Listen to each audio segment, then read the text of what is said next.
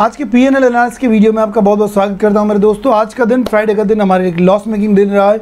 हालाँकि risk management के चलते प्रॉपर रिस्क मैनेजमेंट के लिए जो लॉस हुआ है, वो वेरी वेरी नॉमिनल है। दस लाख की कैपिटल के ऊपर only three nine four five rupees अगर आप मेरे पी के वीडियो को कंसिस्टेंटली एनालाइज करो, मैं आपको बताना चाहता हूँ with the grace of God आप सबकी दुआओं की वजह से जनवरी से लेकर अभी तक from January till date I am profitable you know uh, that's that that's the grace of god that uh, since january till today i am profitable with the grace of god. और uh, जो भी भी loss होता है देखिए losses are part of the game हमारी priority यही रहती है मेरी uh, सोच यही रहती है कि लॉसेस को मिनिमाइज़ किया जाए लॉसेस को कम से कम रखा जाए जिससे ओवरऑल प्रॉफिटेबिलिटी बनी रहे।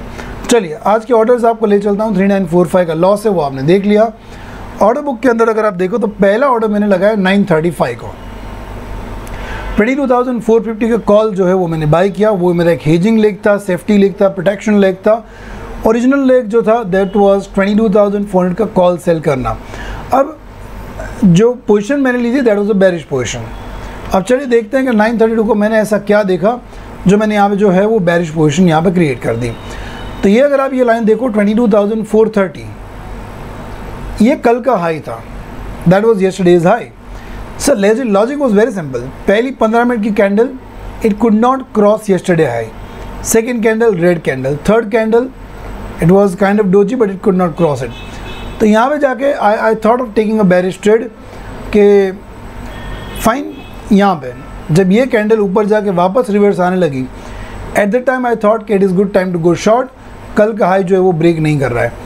हालाँकि वहाँ पर हमें माइनर सा टू थाउज़ेंड रुपीज़ के आसपास का लॉस हुआ, जिसको मैंने टेन थर्टी सिक्स को काट लिया, क्योंकि मेरा जो लॉजिकल स्टॉप लॉस था, वो था प्रीवियस डे का हाई अब जैसे ये कैंडल आप देखो लॉजिकल है। ये 10 30 से 10 35 वाली कैंडल जैसे ही इस कैंडल ने प्रीवियस ट्रेडिंग डे के हाई के ऊपर क्लोज दे दिया I booked my loss immediately so that was the process that I followed उसके बाद बारह बजकर दस मिनट पे I took a bullish trade twenty two thousand four का पुट जो है वो मैंने बाई किया और ट्वेंटी टू फोर फिफ्टी का पुट सेल किया।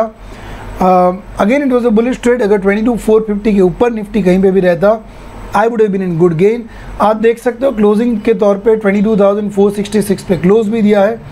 बट मार्केट जो है वो साइडवेज हो गया और फ्राइडे था प्रीमियम में इतनी मोमेंटम नहीं था और इन सब रीजंस के चलते I booked my loss over there at one zero five and जैसे हमारे रूल्स है कि दो ट्रेड के बाद हम कभी तीसरा ट्रेड नहीं करते। I stuck to my rules risk management को फॉलो किया और 3945 के लॉस के साथ आज का दिन क्लोज किया है। आपको हमारा रिस्क मैनेजमेंट डिसिप्लिन पेशेंस कैसा लगता है?